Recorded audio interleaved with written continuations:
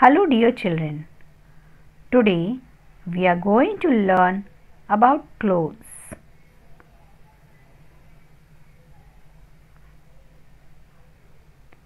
Now how is cloth made?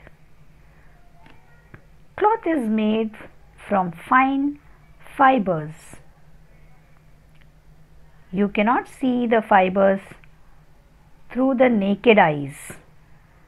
If you take a magnifying glass and watch a piece of cloth, you can see the arrangement which you can see in the picture.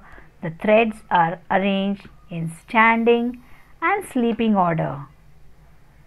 This arrangement of the threads is called intertwining of threads. So fiber you can see through magnifying glass. Okay. You will see that cloth or fabric is made by intertwining threads together. Intertwining threads together is called weaving. The process of intertwining thread is called weaving.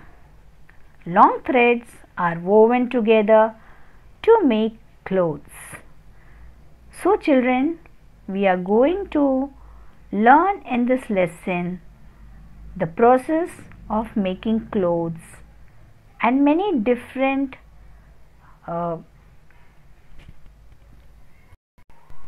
information regarding how we make clothes.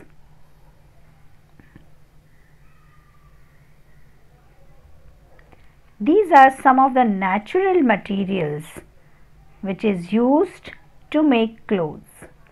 The fibers of these materials are used to make clothes. Now commonly which we already know is wool which we get from sheep, silk which we get from silkworm, then horse hair is used to make clothes, then cotton is used to make clothes, Fiber from banana is used to make clothes. So these are the flax which is used to make clothes. These are the common materials which we already know about it. So flax, wool, banana, silk, horsehair, cotton, the fibers from these materials are used to make clothes.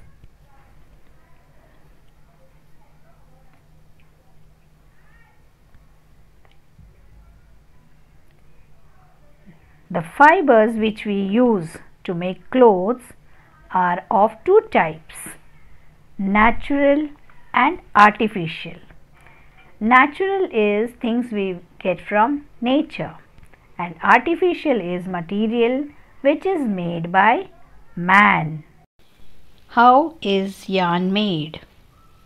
Yarn is the fine fiber made from materials like cotton, wool, silk, etc. These fine threads are processed and made from the materials and then bundled up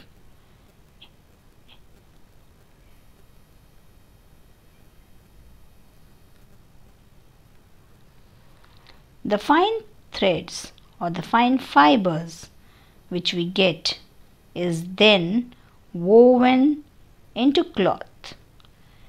Now there are two ways to weave the cloth. One is using the needles and weaving with the help of your hands. So you can weave sweaters, caps with the help of knitting needles. The second one is using the hand looms and the power looms to weave the cloth on a large scale.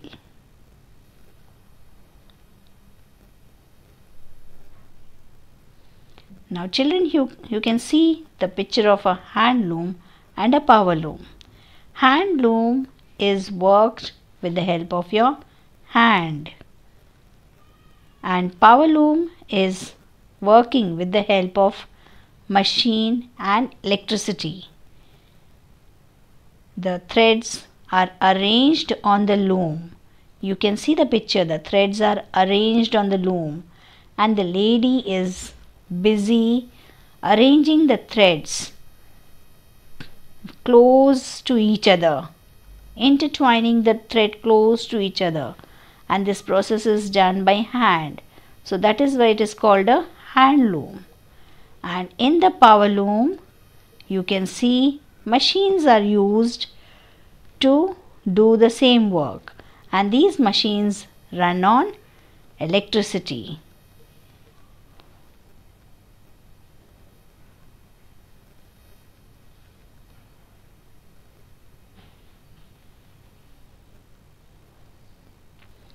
Here you can see a charkha. Now during the time of independence, when Gandhiji was fighting for the freedom of our country, he had put forward to the people that use the goods or use the things which are made in our country. That is Swadeshi. It was called Swadeshi goods. Goods made in our country. So at that time, Gandhiji used a charkha to make thread from the cotton. He did this with his own hands and made the threads ready.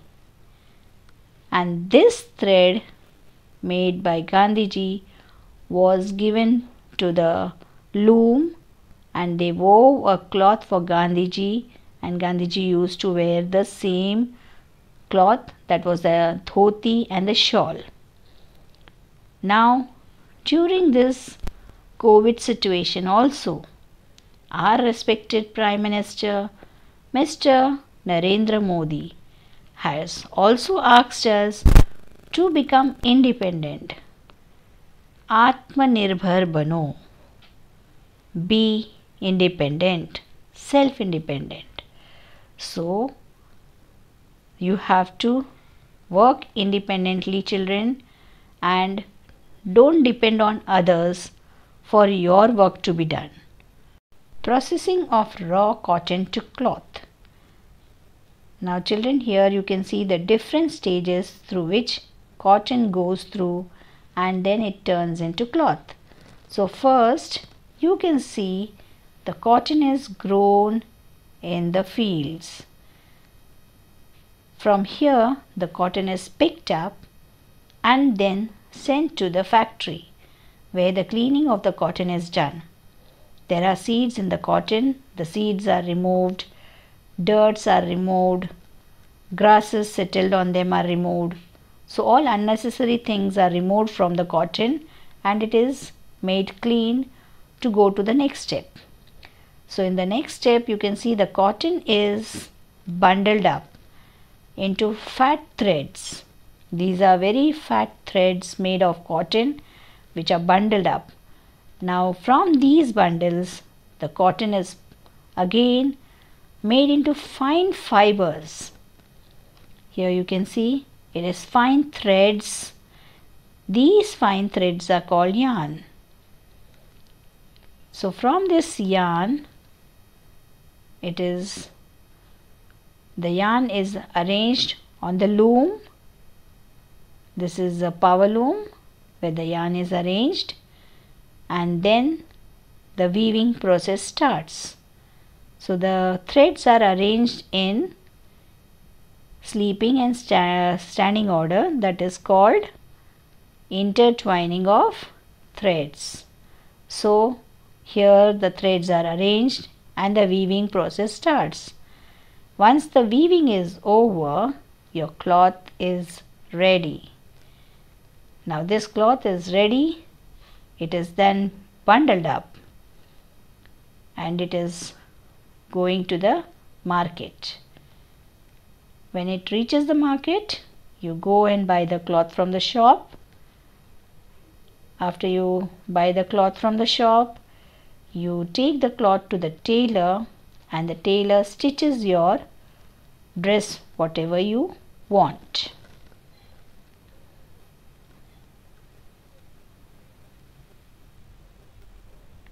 Why should we wash clothes? Clothes become dirty after use. It collects dirt, germs, and is full of sweat. We cannot reuse such dirty clothes as we may fall sick. So, we should wash clothes regularly. So, children, we are using the clothes when we are working. So, dirt and germs, everything collects on the clothes. We have to wash them and then use them. And wearing clean clothes is a good habit. We must always have clean clothes in order to remain healthy and look neat and tidy. Now, how are you going to take care of your clothes? Wash dirty clothes regularly, iron the clothes, and keep them in the proper place.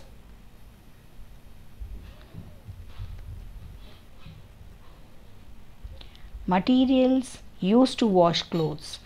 Now, children, you use soap, liquid detergent, soda, and washing powder. Then you use uh, uh, different type of soaps. There are many brands available in the market. So these things are used to wash clothes. Now these are man-made materials. These are man-made materials. Rita is also a type of soap which is a natural soap. So this Rita is put in warm water and then the water turns soapy. Then you can wash your clothes in that soapy water. Limestone is a natural material and Hingenbet is also a fruit which is giving us soapy water when it is dipped in water it gives it makes the water soapy so rita limestone and hingenbet they are natural materials which are used to wash our clothes and these detergents and soap and liquid soap and powder then washing soda all these are man-made things so these materials are used to wash clothes. Washing soda is also a natural material. So these are all things which are used to wash clothes. Rita is also called soap nut. So these materials are used to wash our clothes use of old clothes. Now, children, as you grow taller and bigger, your clothes become smaller to you. So, you either throw them away. But next time, before you throw, you think two times. You can just give those old clothes to somebody who is in need or you can go to an ashram or you can go to an orphanage orphanage is the place where children who don't have parents no mother no father and they are kept over there in the orphanage. They are taken care by the members uh, committee members over there by some organization. So you can go and give your old clothes, donate your old clothes to such organizations. And to such needy children. Clothes are durable, therefore, even if they become very old, not very old, they become little older, they can still be used. If old clothes are still in good condition, they can be given away to those who need them. Torn clothes are made into useful articles like quilts or dishcloth or doormats, etc. Now, what is qu quilts? It is the uh, uh, gadi, your gadda, or your uh, godadi. It is called quilts. Then it can be made into dishcloths or doormats. Old clothes can be used to make new cloth also. Then thread threadbare clothes can be pulped and used to make paper.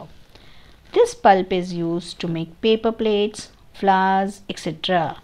It can also be used to make models. Now children, when you go to the YouTube and there are many videos which is showing you do it yourself.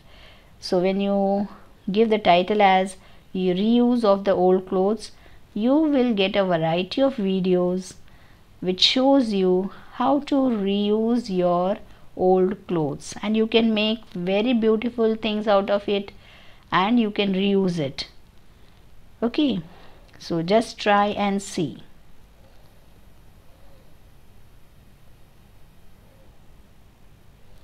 Diversity in clothing. Now here children you can see the pattern of clothes people are wearing. People belonging to different parts of India wear different type of clothes. They have their traditional dresses. These are all the traditional dresses of people belonging to different areas and different states. So you can see them. The pattern of the their dressing is totally different. The pattern of their dressing is totally different. So so we can see the diversity in clothing also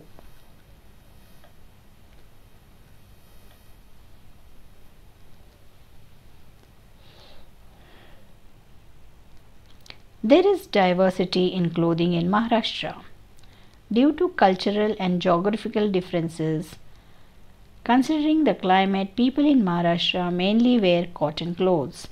So, in Maharashtra itself, in the state of Maharashtra, you can see a variety of dressing pattern different dressing pattern of people in Maharashtra. So you can think of all over India what is the dressing pattern? This is only people of Maharashtra wearing these type of dresses. So these are the tribal people these are the interior Maharashtrian people this is also tribe. This is the kashti dhotar and uh, um, shawl on the shoulder topi. And uh, the lady is wearing kashti. Then this is the shepherd. The shepherd has this pattern of dressing. A turban on his head.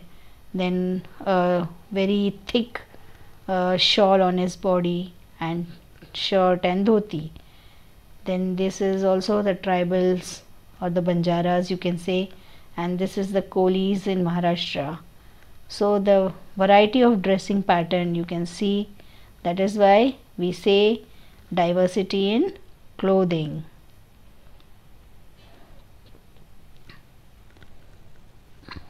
Clothes worn in different seasons. Children we have different seasons summer winter autumn spring so we have variety of dress materials for the different seasons. Summer is very hot so we wear light cotton clothes. Then you have your autumn you have you have uh, winter. Winter is very cold so you have woolen clothes. Spring also we wear cotton clothes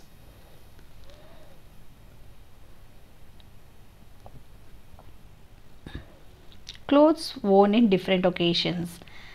That is you have different type of clothings when you go uh, to party or you go to school. So you don't wear the same type of dresses everywhere. So let us see. You can see your formals and your party dress. There is a vast difference between the formals and the party dress. Formals you wear when you are having some important official work.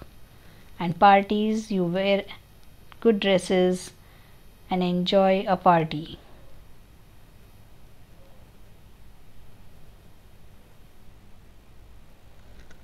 You wear uniforms when you are at school. And there are different uniforms like a driver a conductor a pilot or a fire uh, fireman all are having different uniforms. So when you are at your duty you have to wear your uniforms and go.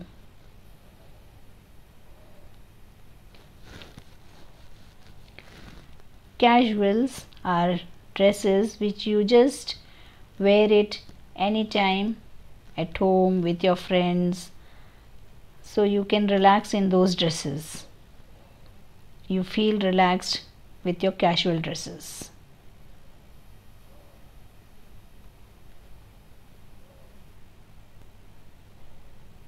cloth is made from yarn yarn may be made from cotton wool etc clothes become dirty on being used. We must always wear clean clothes.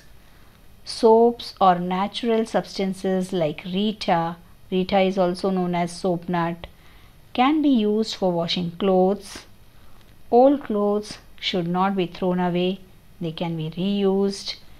We see diversity in clothing because of cultural and geographical differences. There is difference in the type of clothing worn in early times and those worn today. So, children, we can see a different pattern of clothing. Like in the olden days, people people used to be very comfortable with the clothings we have seen already in Maharashtra, different type of clothings, and people of India also we saw different type of clothings. So they were comfortable with that type of dresses. But nowadays, in this modern days the dressing code has totally changed so we should wear the clothes which we feel comfortable in. Okay children?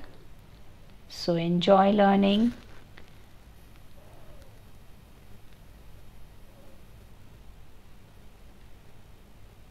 So i think you have learned many things about clothes. Thank you children.